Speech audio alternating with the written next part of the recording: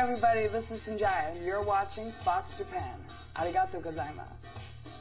I just want to be remembered as someone who's real, who's very uh, genuine, and someone who isn't afraid to go out there and put themselves out, possibly on the line, just to to show that it's not it's not as scary as it could be.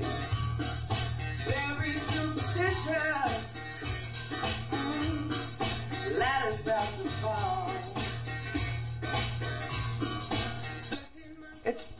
Relatively straightforward. Um, I think that the thing that people don't know the most about is um, that we actually don't have as much time to kind of work on each song each week as it may seem because what what people see is you have you do your song, you have the results show, and then you have a full week, and then you do a song and the results show. But really, in that full week, we're doing interviews, we're doing photo shoots, we're doing the Ford music video, and we really don't have as much time as it may seem.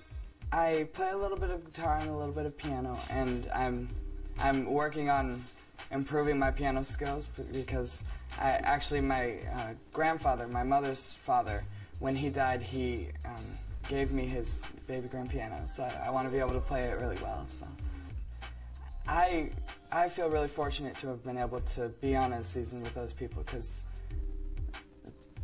they helped me to grow as a person in learning how they handle life and how they handle music and um, I was really able to watch them and because I was one of the youngest be able to learn from their experience. Superstition ain't the way.